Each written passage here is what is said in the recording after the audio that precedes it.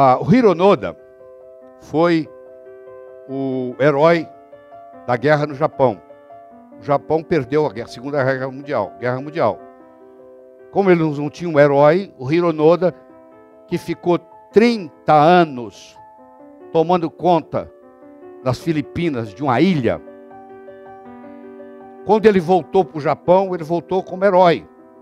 Ele é o herói. Você digita Hironoda na internet, você vai ficar impressionado com a quantidade, como é que esse homem é conhecido no mundo e no Japão. Ele ficou 30 anos, 2 meses e 21 dias tomando conta da ilha de Lubang.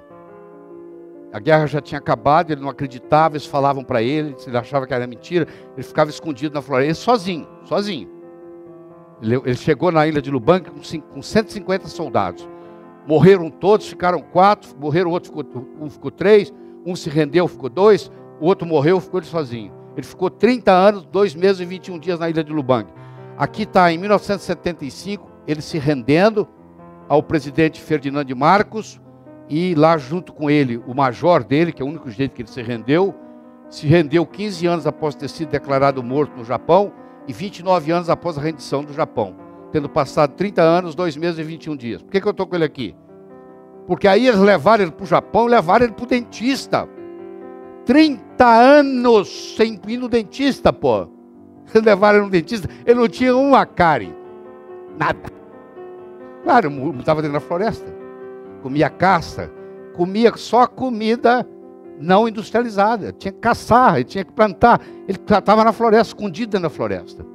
30 anos escondido na floresta. É uma decepção deles é que ele não tinha. A primeira coisa que eles fizeram, chegar no Japão, levar ele para o dentista. O dentista falou, não achei cárie nenhuma nele. Tá?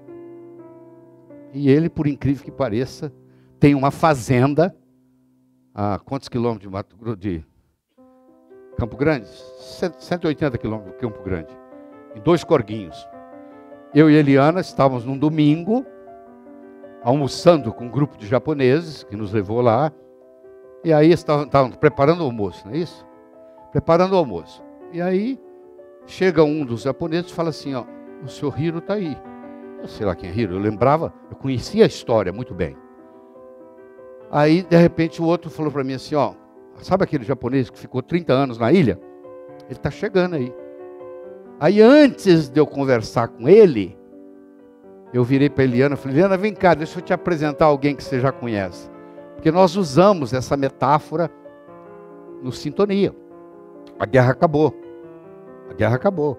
Quer dizer, esse homem teve uma guerra de 30 anos e sem nada. A guerra já tinha acabado há quase 30 anos e ele estava tomando conta da ilha. Então a guerra acabou, a Eliana viu e começou a chorar de emoção. Ela chorou seis horas sem parar, de emoção. E ele ali, ele não fala português, não fala inglês. A mulher dele, acho que estava a primeira vez que vinha ao Brasil, eles ficavam olhando para Eliana assim, não entendiam nada. Ela não almoçou, né? Chorou, chorou, chorou o almoço inteiro. E todo mundo olhava, ninguém entendia nada, porque é a metáfora que a gente faz há mais de 30, 20 e tantos anos do Sintonia, usando a imagem dele. E aqui está uma foto dele comigo. Ou eu com ele. Não, ele está com 80. Aqui ele estava com 86 anos. Hein? É 2009, tem pouco tempo. 18 de janeiro de 2009. Aqui ele estava com 86 anos. Ele ficou trinta e tantos anos nas Filipinas. Lá é um calor danado. Quando ele voltou para o Japão, ele não aguentava o inverno do Japão mais. E como ele tinha um soldo que eles pagaram ele de 30 anos com correção de juros e tudo, ele ganhou na loteria. Você imagina, receber 30 anos atrasado.